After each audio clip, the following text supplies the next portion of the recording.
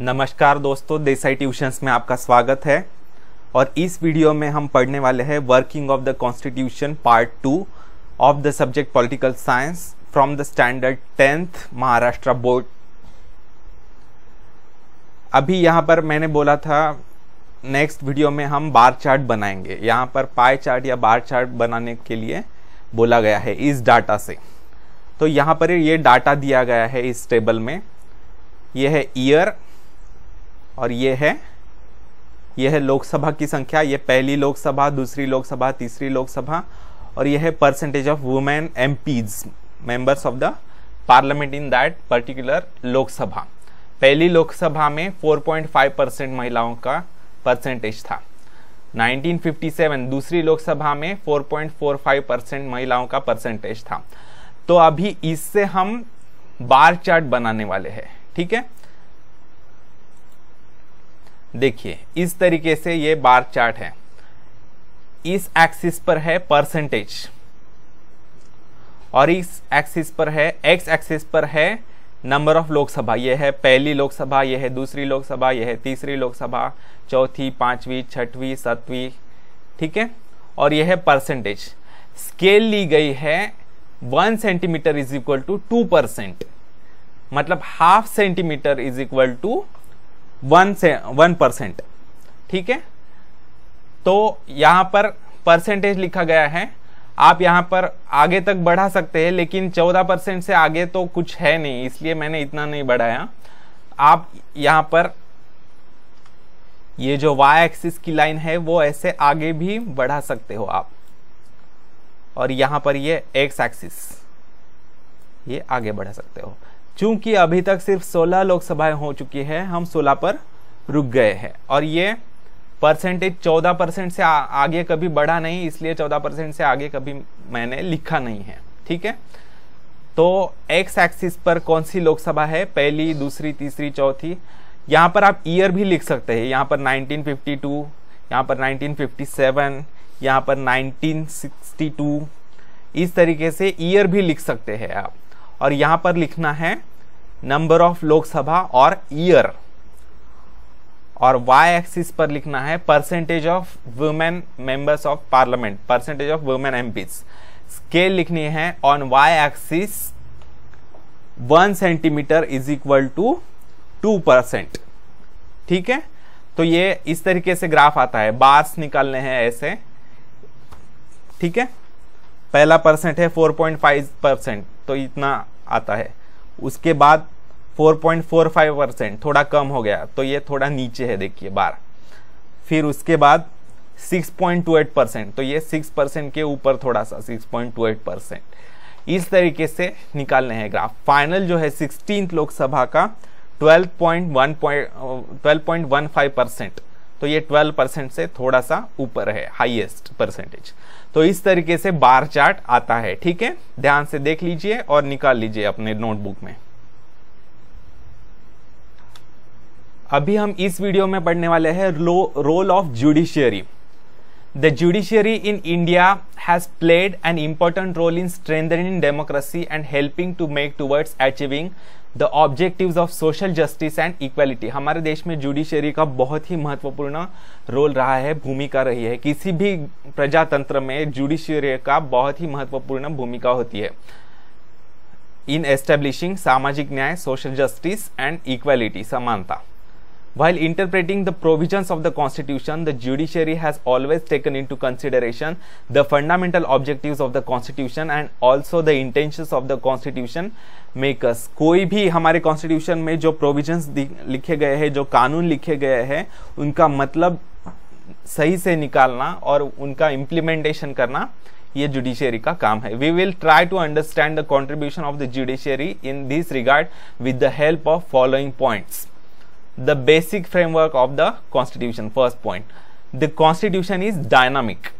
मतलब living document है, जो बदलती रहती है कॉन्स्टिट्यूशन एक बार हमने बना लिया और उसमें कोई बदलाव नहीं हो सकता, ऐसा नहीं चलता। जैसे जैसे परिस्थिति बदलती जाती है, जैसे जैसे समाज बदलता जाता है, वैसे वैसे कॉन्स्टिट्यूशन में भी बदलाव करने पड़ते हैं।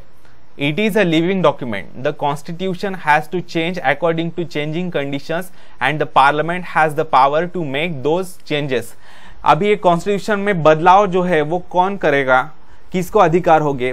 तो पार्लियामेंट जो है, हमारे पार्लियामेंट जो है, दो हाउसेस की बनी हुई है। लोकसभा लोअर हाउस और राज्यसभा अपर हाउस तो पार्लियामेंट को मेंबर पार्लियामेंट में मेंबर्स ऑफ़ द पार्लियामेंट जो होते हैं, वो आपस में डिस्कस करके कॉन्स्टिट्यूशन में अगर कोई बदलाव आवश्यक है तो वो करते हैं। ठीक है? The judiciary has accepted this power of the parliament to make changes in the constitution but at the same time specified the limitation of this power देखिए पार्लियामेंट कॉन्स्टिट्यूशन में बदलाव तो कर सकती है, लेकिन कोई भी पार्लियामेंट को अनलिमिटेड अधिकार नहीं है कॉन्स्टिट्यूशन में बदलाव करने का। पार्लियामेंट को बेसिक स्ट्रक्चर बदलने का अधिकार नहीं है कॉन्स्टिट्यूशन का। जो बेसिक फ्रेमवर्क है बेसिक स्ट्रक्चर जो है कॉन्स्टिट्यूशन का वो बदलाव करने का अधिकार नहीं है। अगर पार्लियामेंट वैसा करती है तो सुप्रीम कोर्ट जो है वो ऐसे बदलाव इलीगल ठहरा देता है और उन्हें कैंसिल करवा देता है।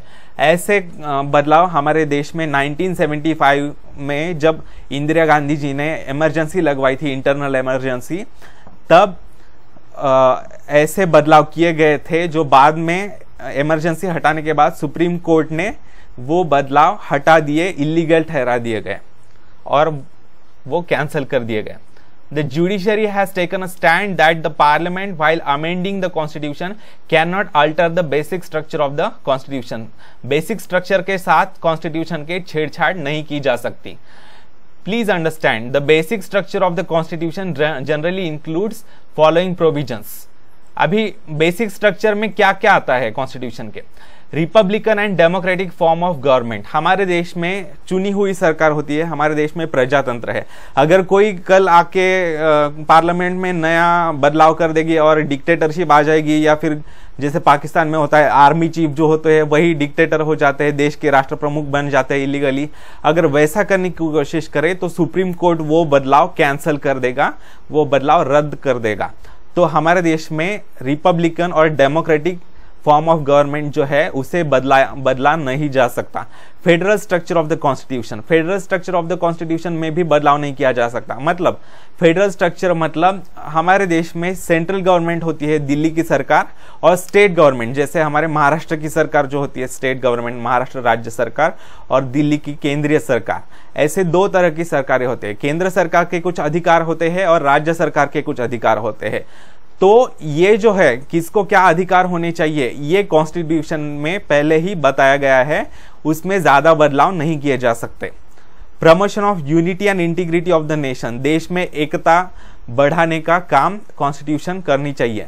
सोवेरेनिटी ऑफ़ द नेशन देखिए अगर कल पार्लियामेंट ने ऐसा नियम बना दिया कोई करप्ट पार्लियामेंट आती है और किसी ने ऐसा नियम बना दिया कि आ, हम हमारे सोवरेनिटी कॉम्प्रोमाइज करते हैं। मतलब हम, हमारा देश किसी दूसरे देश को सौंप देते हैं।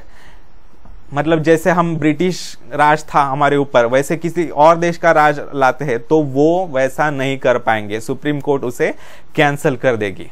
Secularism and supremacy of the constitution secularism मतलब हमारे देश में सर्वधर्म समभाव है, उसे भी कॉम्प्रोमाइज नहीं किया जा सकता। और सुप्रीमसी ऑफ़ द कॉन्स्टिट्यूशन किसी एक व्यक्ति का सुप्रीमसी नहीं लाई जा सकती। कॉन्स्टिट्यूशन ही हमारे देश में सबसे ऊपर है, सबसे सुप्रीम है।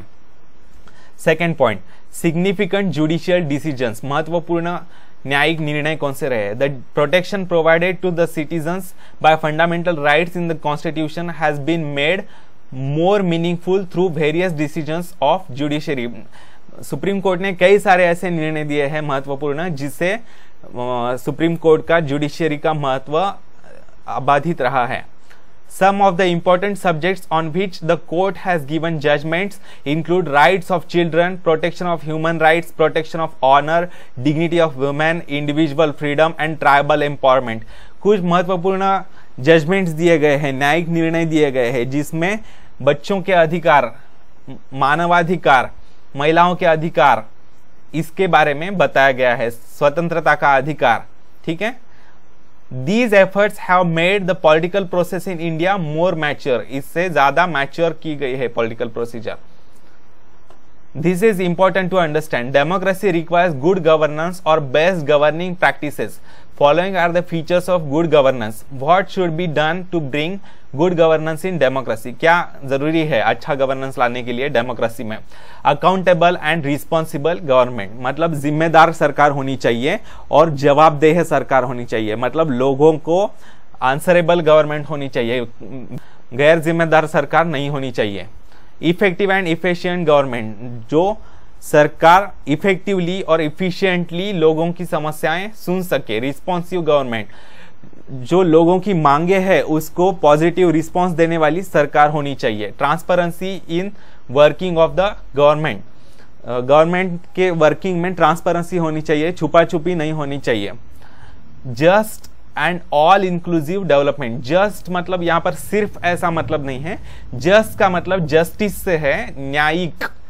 न्यायपूर्ण डेवलपमेंट होनी चाहिए। मतलब किसी के साथ अन्याय करके हम डेवलपमेंट नहीं कर सकते। सभी को, सबका साथ लेकर हमें विकास करना है। ठीक है? इसे कहते हैं just and all inclusive development people's participation in the governing and decision making process धीरे धीरे लोगों का सहभाग जो है वो बढ़ाते जाना है डिसीज़न मेकिंग प्रोसेस में।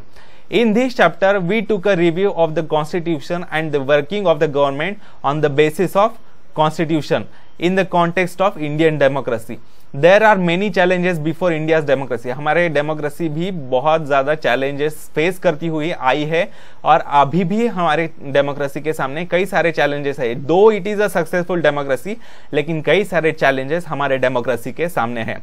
Governments acts and policies have not put an end to all the problems सरकार ने कई सारे पॉलिसीज़ नियम तो रखे हैं, नीतियाँ बनाई हैं, लेकिन उससे सारे प्रॉब्लम्स हल नहीं हो चुके हैं। प्रॉब्लम्स धीरे धीरे हल हो रहे हैं, लेकिन कुछ नए प्रॉब्लम्स भी उभर कर आ रहे हैं। There are several new problems confronting us however what is important is that people in India have developed a democratic mindset लेकिन भारत के लोगों में एक गणतांत्रिक मानसिकता अपना ली है। ठीक है? In the next chapter we will study the election process in India ठीक है? इस चैप्टर में यहीं पर ख़त्म होते हैं और अगले चैप्टर में हम पढ़ने वाले हैं इलेक्शन प्रोसेस इन इंडिया। ठीक है दोस्तों? इस वीडियो में यहीं पर रुकते हैं। अगर आपको वीडियो अच्छा लगे तो लाइक कीजिए, अपने दोस्तों के साथ शेयर कीजिए। कुछ डाउट्स हो तो नीचे कमेंट कीजिए और सब्सक्राइब कीजिए। Thank you.